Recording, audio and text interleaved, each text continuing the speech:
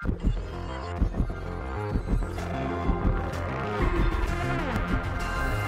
once again for another This Week in Lockdown, and another poor soul has been punted into the interview chair. Jessica Burton, good evening. Hello. Are you uh, have you are you still speaking to uh, to Lauren after dropping you in?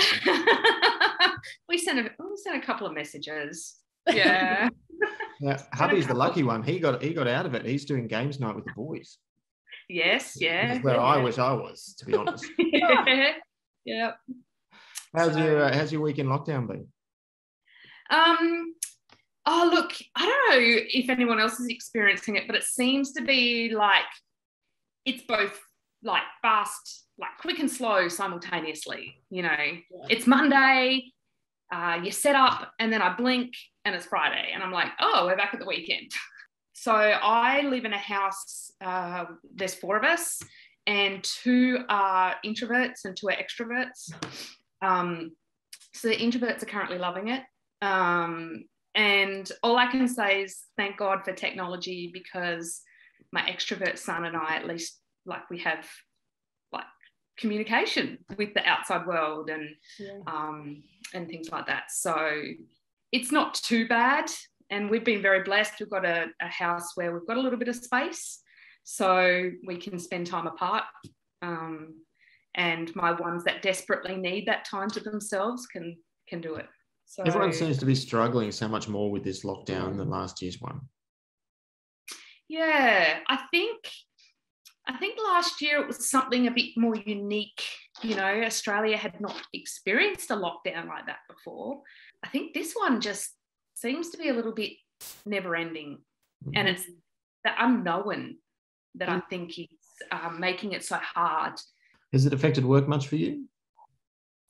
Uh, yeah, so I'm studying.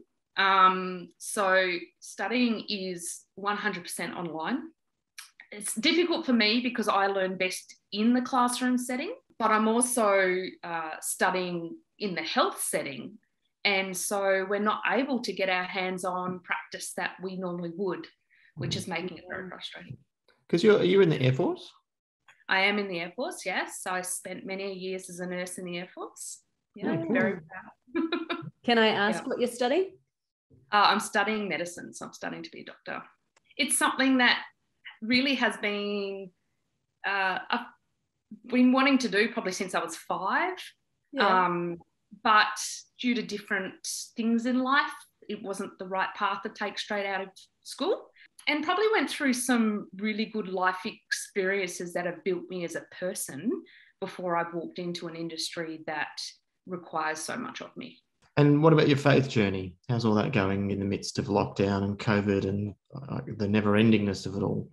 Yeah, yeah, really interesting question. This this lockdown has been very interesting. It's taken taken me like a lot of people to some lows, to some really deep lows, um, and to the point where I felt like I couldn't see the wood from the trees.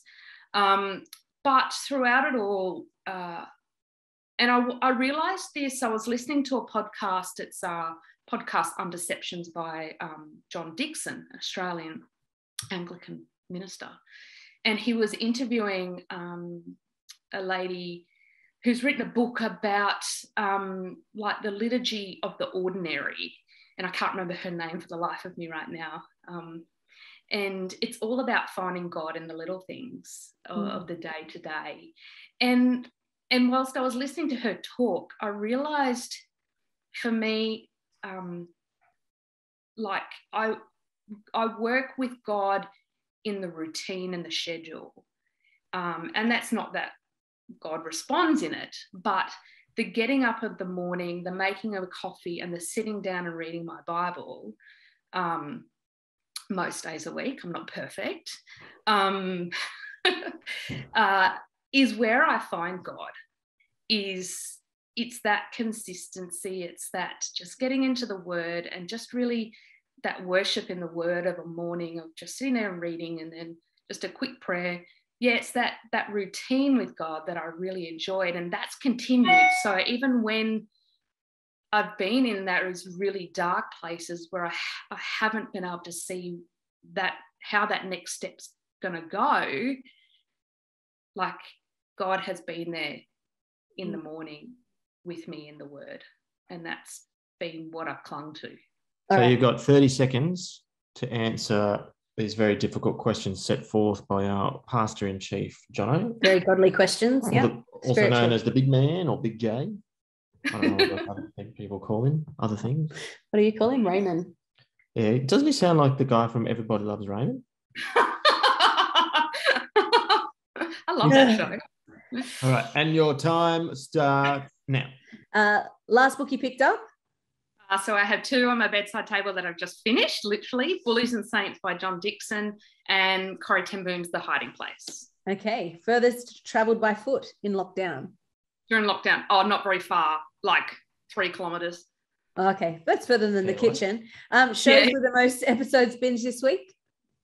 Uh, I don't really watch a lot of shows at the moment. Can Zoom for uni count? Sure, sure. Newest hobby? uh, surviving, Surviving. Surviving. surviving school. Yes. Right, well, you managed to uh, to make your way through unscathed, and now you're lucky enough to choose the next person. Who would you like to punish next week? Do you enjoy that way too much? I would really love to hear from Christy Horton. Christy Horton, Yeah. come on down.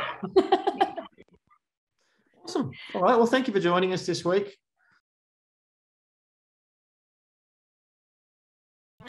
All right. Okay, 30 seconds, and your time starts now. Last book you picked up? Oh, last um uh oh my gosh. Look at her panicking, panicking No, under the I pressure. had two. I've had two on my bedside table. It was Bullies and Saints by John Dickson and uh, Corrie Ten Boom's The Hiding Place. So I was reading them simultaneously. Okay. Furthest furthest travel by foot. Furthest travel. Traveled by foot. Uh, I did a 30 kilometer run. You're done. I reckon we should do a You redo. got one and a half. I'm sorry. I You was should have just just said the Bible.